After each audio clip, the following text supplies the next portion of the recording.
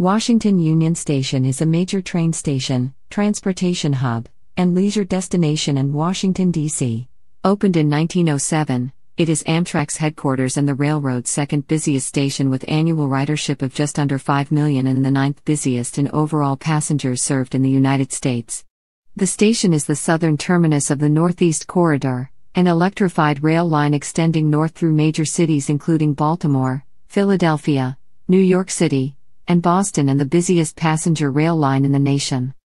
An intermodal facility, Union Station also serves MARC and VRE commuter rail services, the Washington Metro, the DC streetcar, intercity bus lines, and local Metrobus buses.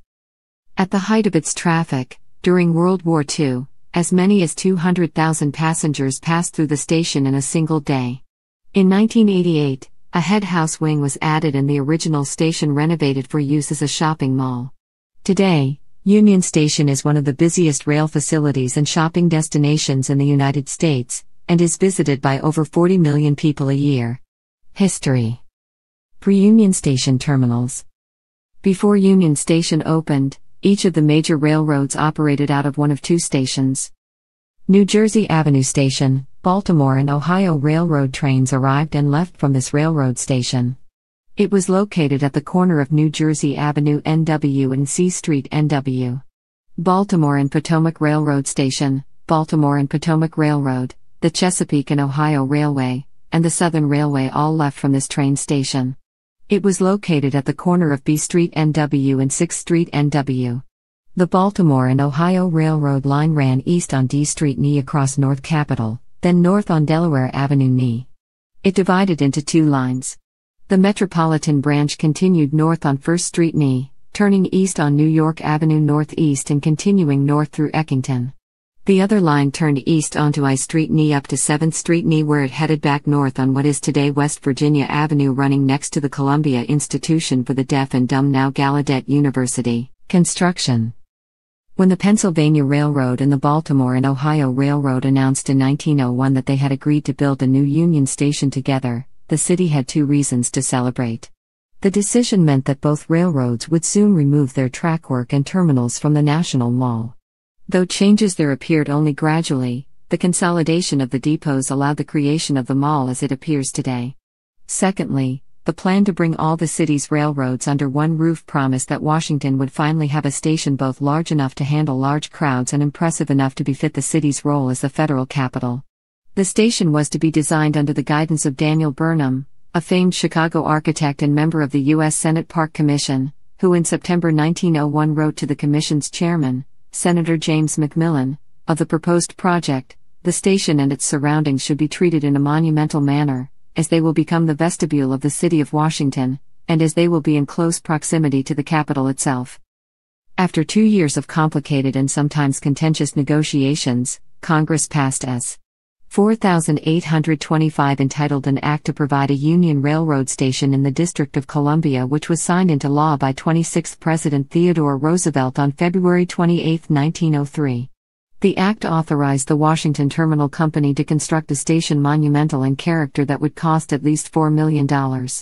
Including additional outlays for new terminal grades, approaches, bridges, viaducts, coach and freight yards, tunnels, shops, support buildings, and other infrastructure. The total cost to the terminal company for all the improvements associated with Union Station exceeded $16 million.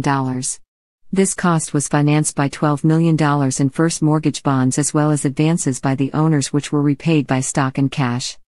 Each carrier also received $1.5 million in government funding to compensate them for the costs of eliminating grade crossings in the city. The only railroad station in the nation specifically authorized by the U.S. Congress, the building was primarily designed by William Pierce Anderson of the Chicago architectural firm of D.H. Burnham and Company. Impact on the neighborhood.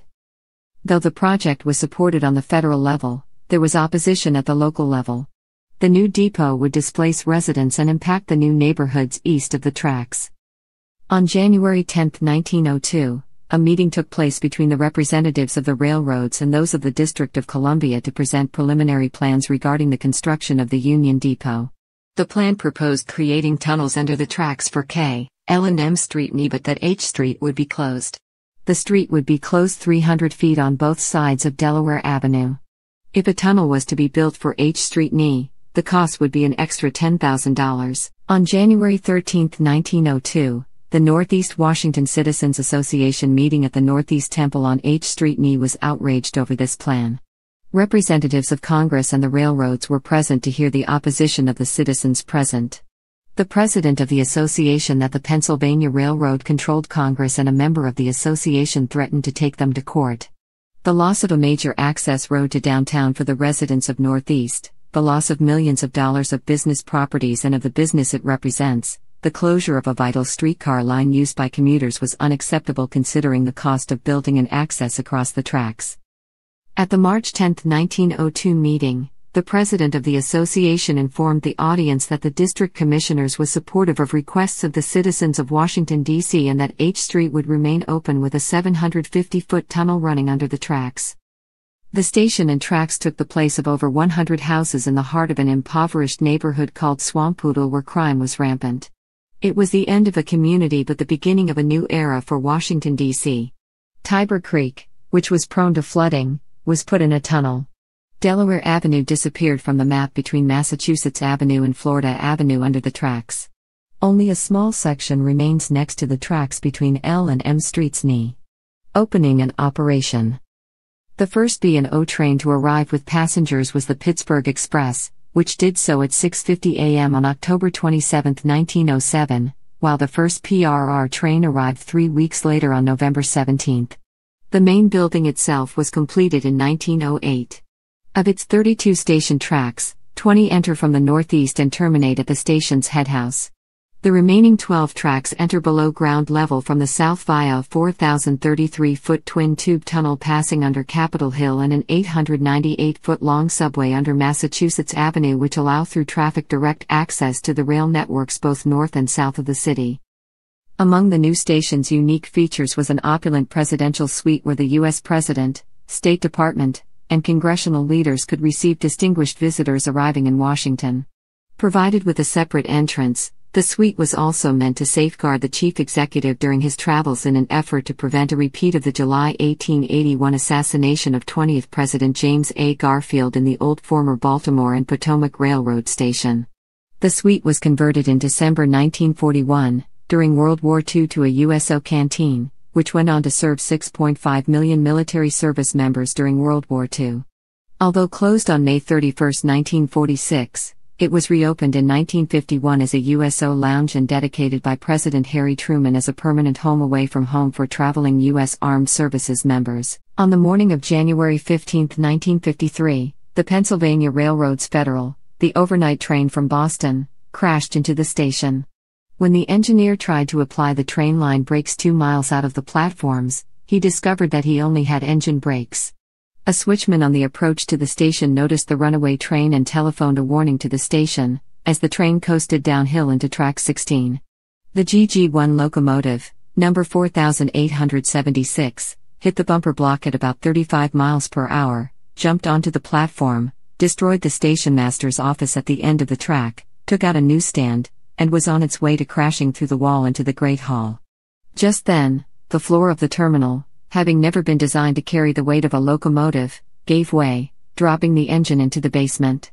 The 447,000 pound electric locomotive fell into about the center of what is now the food court. Remarkably, no one was killed, and passengers in the rear cars thought that they had only had a rough stop. An investigation revealed that an angle cock on the brake line had been closed, probably by an icicle knocked from an overhead bridge. The accident inspired the finale of the 1976 film Silver Streak. The durable design of the GG1 made its damage repairable, and it was soon back in service after being hauled away in pieces to the PRR's main shops in Altoona, Pennsylvania.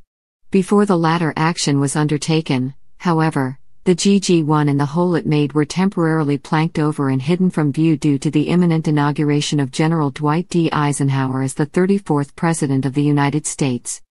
Until intercity passenger rail service was taken over by Amtrak in 1971, Union Station served as a hub for the Baltimore and Ohio Railroad, Chesapeake, and Ohio Railway, Pennsylvania Railroad, and Southern Railway.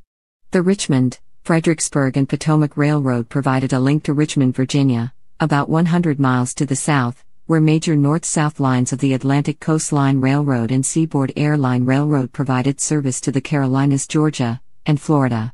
World War II was the busiest period in the station's history in terms of passenger traffic, with up to 200,000 people passing through on a single day. Decline.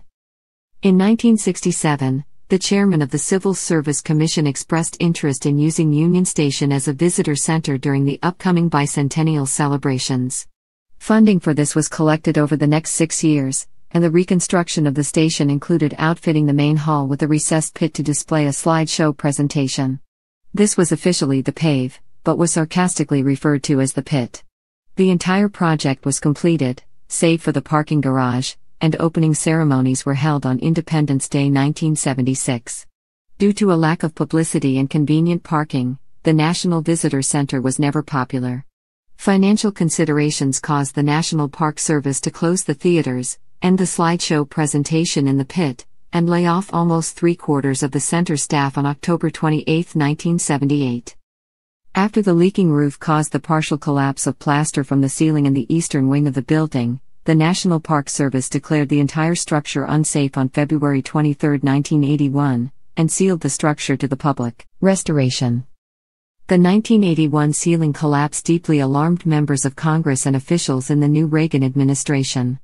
On April 3, Despite a budget austerity push, administration officials proposed a plan to appropriate $7 million to allow the Department of the Interior to finish its authorized $8 million roof repair program. In addition, the government of the District of Columbia would be permitted to reprogram up to $40 million in federal highway money to finish the parking garage at Union Station. On October 19, administration officials and members of the United States Senate Committee on Commerce, Science, and Transportation agreed on additional aspects of the plan.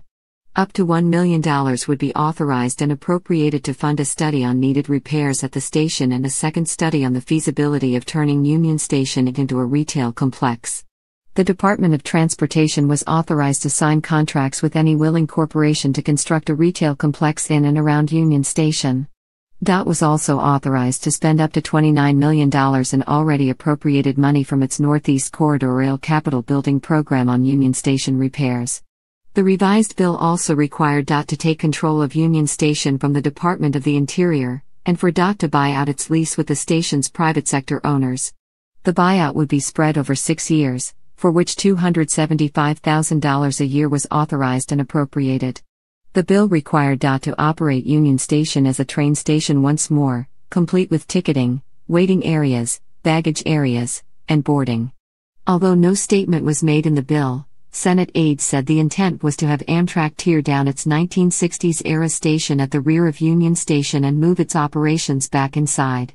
The Senate passed the bill unanimously on November 23. The House approved the bill on December 16. President Ronald Reagan signed the Union Station Redevelopment Act into law on December 29. As a result of the Redevelopment Act of 1981, Union Station was closed for restoration and refurbishing. Mold was growing in the leaking ceiling of the main hall, and the carpet laid out for an Inauguration Day celebration was full of cigarette burned holes. In 1988, Secretary of Transportation Elizabeth Dole awarded $70 million to the restoration effort. The pit was transformed into a new basement level, and the main hall floor was refitted with marble. While installing new HVAC systems, crews discovered antique items in shafts that had not been opened since the building's creation. A new life. The station reopened in its present form on September 29, 1988. The former pit area was replaced with an AMC movie theater, which closed on October 12, 2009, and was replaced with an expanded food court and a Walgreens store. The food court still retains the original arches under which the trains were parked as well as the track numbers on those arches. A variety of shops opened along the concourse and main hall, and a new Amtrak terminal at the back behind the original concourse. Trains no longer enter the original concourse, but the original, decorative gates were relocated to the new passenger concourse. In 1994, this new passenger concourse was renamed to honor W. Graham Claytor Jr who served as Amtrak's president from 1982 to 1993. The decorative elements of the station were also restored. The skylights were preserved, but sunlight no longer illuminates the concourse because it is blocked by the newer roof structure built directly overhead to support the aging, original structure. In June 2015, the Union Station Redevelopment Corporation released the first ever historic preservation plan to guide future preservation and restoration efforts at the Washington Union Station complex. In January 2017, the expansion and refurbishment of the Washington Union Station was listed as one of the priority infrastructure projects of the Donald Trump administration at an estimated cost of $8.7 billion. Architecture Architect Daniel H. Burnham, assisted by Pierce Anderson, was inspired by a number of architectural styles. Classical elements included the Arch of Constantine and the great vaulted spaces of the Baths of Diocletian, prominent siting at the intersection of two of Pierre Charles L'Enfant's avenues, with an orientation that faced the United States Capitol just five blocks away, a massive scale, including a facade stretching more than 600 feet and a waiting room ceiling 96 feet above the floor, stone inscriptions and allegorical sculpture in the Beaux-Arts style, expensive materials such as marble, gold leaf, and white granite from a previously unused quarry. The attic block, above the main cornice of the central block, stand six colossal statues created by Louis St. Gaudens. These are entitled The Progress of Railroading, and their iconography expresses the confident enthusiasm of the American Renaissance movement. Prometheus, Thales, Themis, Apollo, Ceres, Archimedes.